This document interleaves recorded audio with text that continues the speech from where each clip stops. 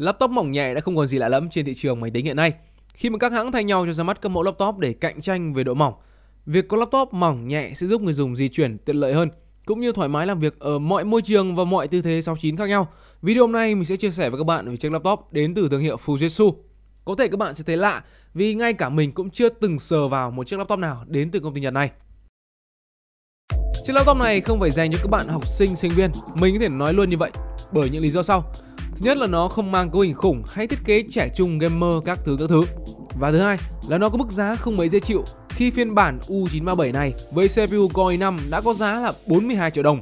Vậy thì lý do gì mà nó lại có giá cao đến như vậy? Chiếc máy này được tạo ra để hướng đến các doanh nhân với nhu cầu bảo mật cao và thường xuyên di chuyển. Với trọng lượng chỉ 950 g, nhỉnh hơn tí tẹo khi so với chiếc LG Gram 13.3 là 940 g. Đây là một trong những chiếc laptop 13,3 inch nhẹ nhất thế giới. Mình hoàn toàn có thể dùng chiếc laptop này thay cho cái quạt nan trong mùa hè nóng bức. Lớp vỏ của nó thì được làm hoàn toàn từ magie, một thứ kim loại rất nhẹ và chắc chắn hơn nhiều khi so với nhôm. Và vì đây là chiếc laptop dành cho doanh nhân nên nó cũng có một số tính năng bảo mật đặc biệt mà mình chưa thấy trên mẫu laptop nào khác trước kia. Nằm ở góc dưới là một cái ô cửa sổ, bên trong chứa cảm biến quét mạch máu. Việc laptop có khả năng quét vân tay thì mình đã từng thấy khá nhiều, chứ còn quét cả mạch máu trong lòng bàn tay thì đúng là chưa từng thấy. Chiếc U937 này thì có nhiều cấu hình khác nhau và có cả phiên bản cảm biến vân tay thay cho cảm biến quét tĩnh mạch. Với phiên bản 42 triệu này thì mình có CPU Core i5 7200U, 8GB RAM, DRAM 4 2133 MHz, SSD 256GB PCIe và màn hình 13,3 inch Full HD, cộng với đó là pin 50Wh. Màn hình được điểm mạnh khi độ sáng khá cao và màu sắc thể hiện rất tốt. Độ tương phản cũng rất tốt khi đen thì rất đen mà trắng thì rất trắng. Với một chiếc laptop chỉ mỏng có 15.5mm thì mình thấy bàn phím của chiếc Livebook đem lại cảm giác gõ rất tốt. Mỗi tội là phiên bản này thì lại không có led nền. Đây là một điểm khá lạ khi mà chiếc laptop này hướng đến người dùng doanh nhân mà đã là một người bận rộn với công việc thì việc thức đêm gõ phím là rất dễ hiểu. Cổng kết nối là thứ khiến mình ngạc nhiên vì với một chiếc laptop mỏng nhẹ, chiếc U937 này lại đem lại khá nhiều kết nối đa dạng. Ở cạnh trái sẽ là cổng cắm nguồn này, cổng HDMI cỡ lớn full size, một cổng USB Type-C 3.1 không có hỗ trợ Thunderbolt nha các bạn, một cổng USB 3.0 Type-A và cổng cắm tai nghe kiêm micro combo.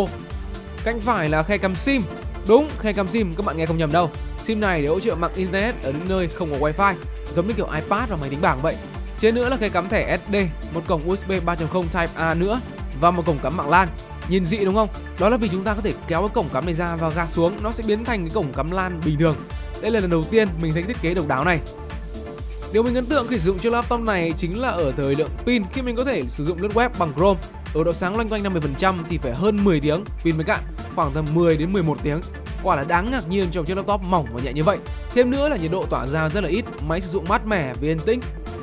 Tóm lại cái video trên tay này thì mình rất ấn tượng với Fujitsu khi họ đã cho ra một chiếc laptop chất lượng cao made in Japan 100% với các yếu tố phục vụ công việc đã hoàn thành xuất sắc từ chất lượng màn hình tốt, bàn phím gõ ngon, bảo mật độc đáo, kết nối đa dạng, từ lượng pin xuất sắc và trên cả là thiết kế mỏng nhẹ, bền bỉ với lớp vỏ magie.